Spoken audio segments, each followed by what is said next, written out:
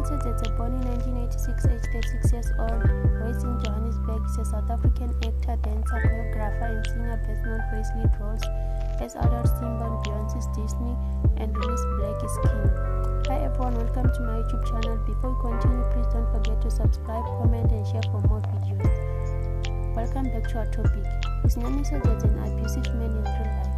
Nyaniso Dzedze played the role of a psychopath in Rhythm City's Gift. He also played Jack Mabaso's hitman and bodyguard Luzuko in Generations The Legacy. The actor is also known for playing Tsietsi Namane in Ashes to Ashes seasons 1 and 2. He currently plays the character of an arrogant doctor in Durban Gen as Dr. Tlomo, who's so abusive to his wife, Snare, and beating her up while she is pregnant. But Dzedze is not abusive in real life. It's just best to play the character he's portraying. People are very confused because of the character that Nyaniso Dzedze is portraying on ETV soap Durban Gen. Nyaniso Dzedze said that people think he is the kind of a person that is full of himself and has a terrible attitude.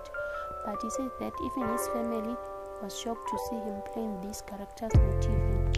He adds that sometimes fans fear to approach him when they meet him in public because they think he would show them a bad attitude. He will talk to them so that they can As a family man, Dzedze loves his family so much and he is always gushing over his wife and daughter on his social media posts. Recently, he shared some of the most amazing and incredible moments with them on his Instagram account. On one of his posts, he shared breathtaking pictures of himself and his family, leaving many of his followers absolutely astounded. A lot of people couldn't help but gush over his family. Dzedze is a very humble person and he is nothing like Isn't this just beautiful? Share your thoughts by leaving a